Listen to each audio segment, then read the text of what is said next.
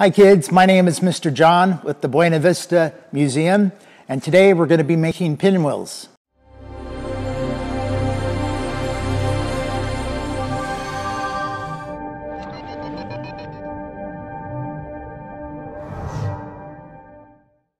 Hi kids, do you like to make things? Well today we're going to be making something that will make you smile. It could harness the wind to create energy, but also it has some mysterious things attached to it. It'll teach you how to make pinwheels like this one. It's not attached to a stick. Here's another one. This is a paper windmill. And then the smallest one we'll be making is with computer paper on a pencil and a pencil eraser. So we're going to walk through those, um, but I'm going to show you the kits. This is a kit that we have at the museum. Each kit has paper in it that's multicolored on both sides. You have a color and white on all the colored paper and one piece of 8.5 by 11 copier paper. And it has a piece of bamboo, a dowel, a pencil, two pencil erasers, and two tacks. So these are your items that come with your kit, and it'll be available on the museum's website. But today I'm going to show you how to make these at your house. I also need to show you, you'll need a pair of scissors. The scissors are not included in the kit. Before we go into the demonstration, I want to ask you two scientific questions. Do you know what air is? This jar contains air. If you look at it closely, the air is invisible. And, and if you try to put air on a scale, it doesn't weigh anything. You, you could go like this and you're touching air, but what's the difference between air and wind?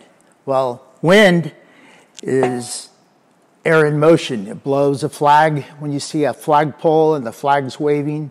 It's the wind moving the flag. The wind blows the leaves down the street. The wind you could feel blow up against you on a windy day. You have your jacket or your sweater held tightly because you're trying to stay warm. So the wind is air in action. Those are our two scientific terms I want you to remember. But today we're going to make windmills in different ways. To start off, I'm going to show you if you fold that in half, you have two rectangles. And what we want to do in all these examples is start off making our project with a square. So I'm going to show you, you take one end of the paper and you fold it to the other end and you want the ends to line up. And what did I do? I made a triangle. As you can see, this is how you make a triangle or a square out of a piece of paper that's a rectangle. And you can do this by creasing it very tightly and gently pulling and applying pressure and not even using a pair of scissors, you could make a square out of a rectangle by folding it and tearing off the excess amount. Usually in origami projects, they always use a square. So you fold it up one way, now you're going to fold it the other direction. And now I'm going to get my pin here and show you a trick. I'm going to draw a line where the creases are so you could see it, hopefully. Now, you'll see there's really, there's really four triangles that we just created. Now, under each triangle, I want you to look at the right side. So this is the right side of this triangle. This is the right side of this triangle, and you don't need to do this. I'm just highlighting it so you could see what side is the right side. You don't need to do this on your paper. So what you're going to do under each triangle, you're going to take your scissors now and you're going to cut one half of each area. So if it's four inches long, you're going to cut approximately two inches. And this isn't a scientific and exact, like you're making candy, you want to have exact measurements. But when you're baking uh, banana bread or something, you could add extra walnuts or extra raisins, so it doesn't matter. Well, this is kind of like making banana bread. You could use approximates. I didn't measure the length. I used the scissors, and you can see I only cut on the right side. Why are we doing that? Because on the right side, you're going to fold that corner up here. But before you do that, you're going to take your glue stick, circle in the middle, and I'm not going to do it. I'm just demonstrating it. And that end will stay down. You're going to rotate it, take your glue stick again, do another size circle like the size of a quarter. Take the right triangle corner up there, do another circle. To rotate it, take the right side, put it up there again, put some more glue, and the last corner would be right here. More glue stick, put it here. And what you're to see is I just created this, which is the pinwheel out of paper.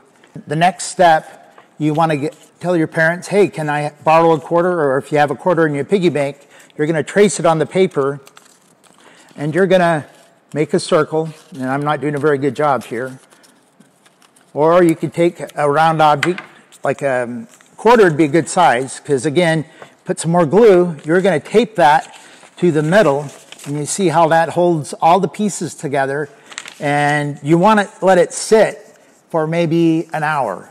I let mine sit overnight, and then when you come back the next day, you could use your scissors. It's taped down really well, and you're going to use your scissors. I'm going to use the bigger example here. You're going to use your scissors to slide in here and help lift up the corners. And you're going to kind of fold them so they, they, they puff up. And that's going to allow you them to catch the wind. And you can see here, I'm sticking these under the corner. I let it dry overnight, so this stuck really good. And if you get in a hurry and you do it like, oh, right then, that centerpiece may come up, but I let mine stick all night, and now you can see how there's air um, will catch in there, and it'll spin really well. Like on this one, it's a smaller model, but I wanted to show the big model for demonstration purposes. But as you can see on the back of this, we had a doweling, a pencil eraser, and a tack in the front. So I wanted to make it fairly safe for you kids out there, but you really need to talk to your parents if you're okay to use the tack. In the next step, I want to show you how to attach the pinwheel to a dowel. You take the dowel, and I came up with this methodology where you add a pencil eraser, has not been used. You're going to take your pinwheel, lay down the eraser down, and you're going to gently take the tack, be careful so you don't poke yourself, and push it through the middle. And if you can't do this, have a parent or an adult help you, and you're going to see I'm applying the pinwheel to the very top of the eraser, and, and this will spin quite easily once it's attached. Now, on the smaller ones, we have a pencil, and again, you have two pencil erasers. You could actually attach your pinwheel to the pencil eraser, and it you have to see the smaller ones fit on the pencils. So you, will be able to attach two of them very easily. And if you want more, or smaller ones or bigger ones, that's up to you and your family. And you could use pencils or get some doweling from your local hardware store. Um, initially, I was just going to have you attach it to the doweling with a hammer and a nail. And I thought that's too much work. So I got the pencil eraser in this. And then in your kit, you also get a unused pencil and another eraser and another tack. So when you make the smaller ones, you'll be able to create um, several of these and two of these and at least three of these. So in your kit, you'll be able to make five windmills, but we have over 25 pinwheels at the museum and they spin.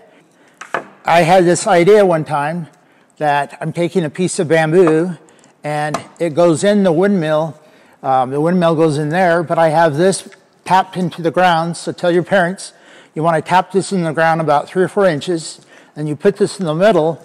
But the key is, if you see the hole is big enough that this isn't in there tightly. So it'll be spinning and then it'll turn, and that's good because that means your pinwheel will last longer. The power of the wind won't break the, the pinwheel.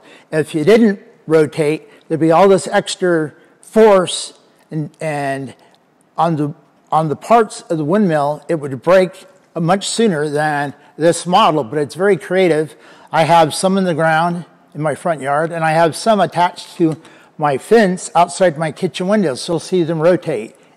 Thank you for watching my video. Please um, look at other videos for Buena Vista Natural History Museum. I hope you enjoyed today's lesson.